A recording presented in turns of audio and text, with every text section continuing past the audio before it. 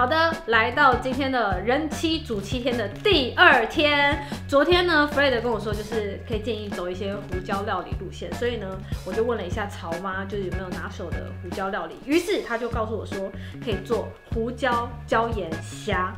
今天我们就买了一袋虾子来做胡椒椒盐虾给今天的来宾吃。废话不多说，我们就开始吧。好的，那我们就是先把虾子的背一样是剪开，然后把它的虾肠挑出来。很像在挑粉刺，有没有？哎、这个虾肠其实挺干净的，看起来蛮干净的，算是蛮透明的。我之前看到的那种虾肠都是那种黑黑一大条的，所以这个算是干净的虾。到时候用的时候啊，那个虾子因为怕会喷，所以你虾子要把它弄干。嗯，那一般我在弄虾子的时候，我会怎么弄？我会先把它的头这边尖尖的地方，我用剪刀把它剪掉。你说这边，哦，就这些刺刺，对。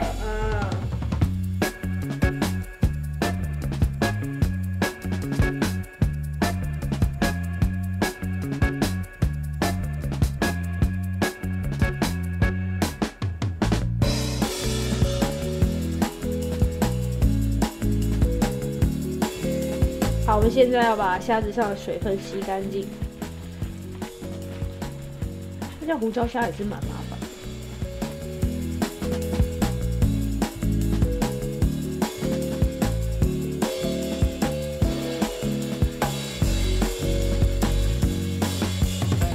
好的，我们那个虾子的头啊、肠子啊，还有脚部分，我们都已经先去除干净了，然后也吸好水了。另外呢，我们准备了今天的佐料，我们今天要要爆香的就是蒜还有姜。我们先下油，然后把蒜跟姜去做一个爆香。常妈说他在做胡椒虾的时候，他会把盐最后加，但我非常喜喜欢就是所有佐料一起先爆香的人，所以我就是个叛逆的孩子。我第一次看到了，没事，我跟你讲，这样它就会融到那个油里面，等下那个油就会咸咸的，就很棒，好不好？我们来特写一下我们的锅子，这个姜跟蒜一起给它卸下去。我还没有很大，怎么会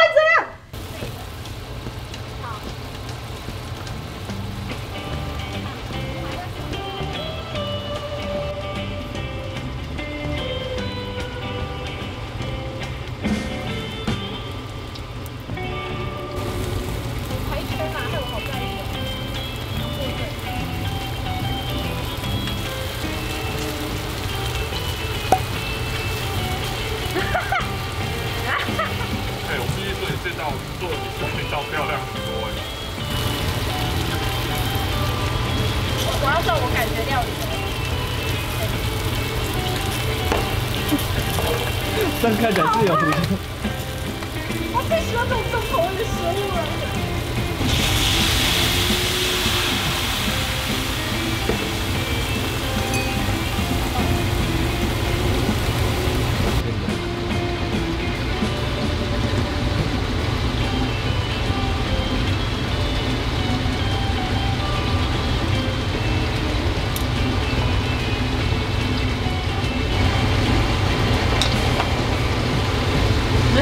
哎呀，到底要撒多少？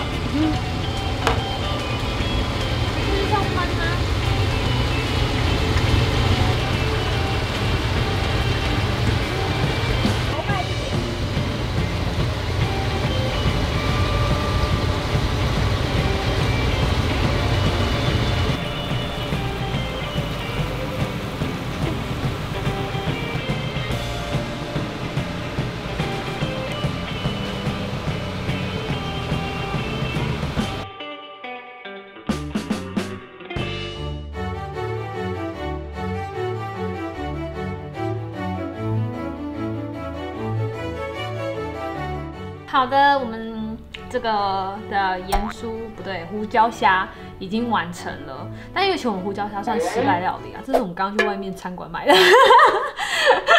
哇！瞬间把你的料理说的哇，跟蛋包饭比是真的差很多。好，那我们就拿去给来宾吃吧。我们等来宾来，Go Go！欢迎我们的阿弟。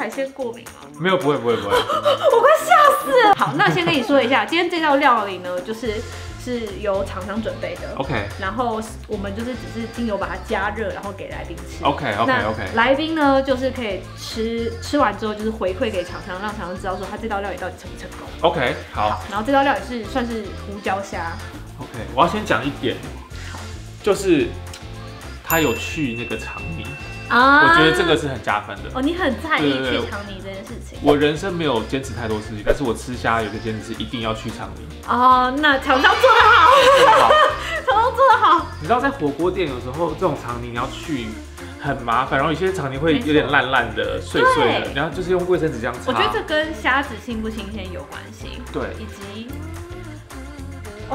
好细的梅子。我其实蛮喜欢吃虾的，我蛮我蛮常吃虾的，对对对，因为我有一阵子是吃海鲜素，所以那时候主要的很多主食都会配虾这样子。他是一个家政老师，对，压力好大那夹起来看这样子，还不错哎，蛮有味道的。他是很厉害的，你知道吗？其实大部分的人都不会用嘴巴剥虾，对，我会用嘴巴剥虾，所以用嘴巴剥虾可是懂虾之人。真的真的是懒惰之人嘛，不是是不想沾手人，而已。不想沾手哎，这我也知我真的不想沾手而已。单纯不想沾手，因为很多人就是不会用嘴巴剥壳。我觉得还蛮入味的耶。真的吗？嗯你觉得就是咸度啊，或者是胡椒味道都是 OK 的吗？OK 的，那就是有腥味吗，或者什么的？可能它食材本身就蛮新鲜的吧，对对对对，它是蛮蛮 Q 弹的，然后因为我用嘴巴剥虾的关系，所以就是吃得到很多那个胡椒味。嗯嗯嗯嗯嗯嗯我试一次看看是嗯，用手对用手剥，然后看它有没有真的单入味。吃那个对虾肉。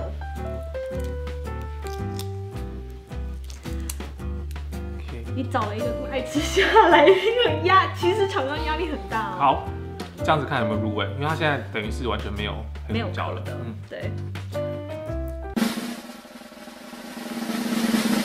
哎、还是有哎、真的吗？还是有，还是有黑胡椒的味道还，是有味道吗？还是有味道哦。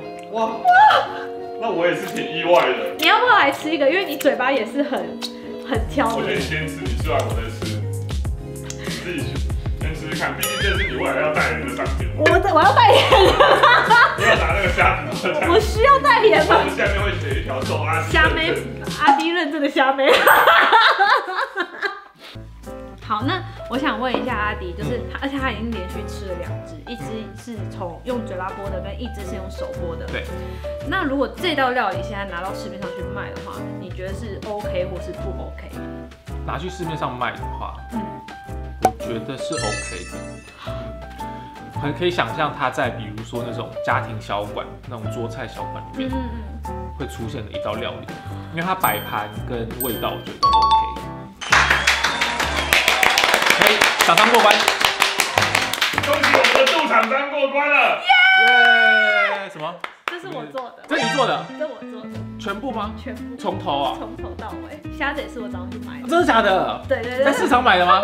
他真的不知道哎，我以为你有谁哎我会哎，很很还不错哎。对，我有我有吓到，因为我其实我们在煮的时候，我就很担心说来宾如果就是对虾过敏，我就要现场叫麦当劳。我有点意外耶。你是用？啊等一下，我很好奇你怎么做的，因为那个虾子的胡椒味是入味到整个虾的肉里面，我撒了两边胡椒，就单纯是这样而已吗而且？我跟你我其实想要原本想要做的更激进一点，因为我在外面吃到的胡椒虾是它是那种胡椒结块的那一种，我不知道你有吃过外面那种。哦，我知非。常，因为我其实超级重口味，我原本是想要做那一块，哦然后早上的时候，因为这道料理是曹妈教我的，哦然后曹妈就说她觉得就是用这个胡椒粒，可是我闻过胡椒粒的味道，我觉得它的味道只有香，嗯没有咸。嗯所以我就加了两次的盐巴跟两次的胡椒粒，我希望可以入味。然后他们就说我怕味道会太重，我说不会，因为外面有壳，对所以要到入味的话，其实要加到爆。对，那你刚刚自己吃的，你没有讲说到底好不好吃？我觉得不够咸，啊，你你真的很重口味我，真的超重口味的，就是我自己会觉得，就是我我觉得这个食材的成功与否，百分之八十它是食材新鲜度。哎、他很开心，啊吃了第三只，哎，太棒了，我好感很好吃哎，那种真的蛮好。很感动的，我真的要不要松了一口气来吃一个看 OK，看？我来吃一个，看起来蛮好吃的，我来吃一下。我懂了，这这确实来说，对于我们两个来讲都不够咸，嗯，因为因为因为它这个它这个里面啊，如果单吃我刚刚那样的吃法的话，就是虾的鲜甜味，嗯那个胡椒味只有那个香的部分，但它没有咸的部分。如果你是一个不常做菜的人的话，我觉得这个真的是端出去外面，就是也不会觉得对他是一个不不会煮菜的人对来。，它就像是就像刚刚阿弟讲，它像是一个餐厅可以拿出来说，对哦，这是个胡胡椒虾，对我也难吃对。好，你回来，因为阿弟要出下一题考题给你了。什么东坡肉嘛，东坡肉，你是说卤的那种？对对对对对，。就是那种正方形的。我觉得第一天有点算小失败，但今天我给你一个 respect。我竟然有幸可以煮菜给阿弟吃，我好感动。我觉得煮给阿弟吃比煮给老肉吃还幸福。我们再次感谢阿弟。耶，成功！下一餐，好，期待东坡肉，期待东坡肉。今天我们要做的是，大家可能就想说，为什么呢？明明阿弟之前给我们的题目是东坡肉，我跟你说，我是绝对有料理天分的。今天的来宾也可能要死肾，这样算少许吗？毕竟这一锅这么大锅，对不对？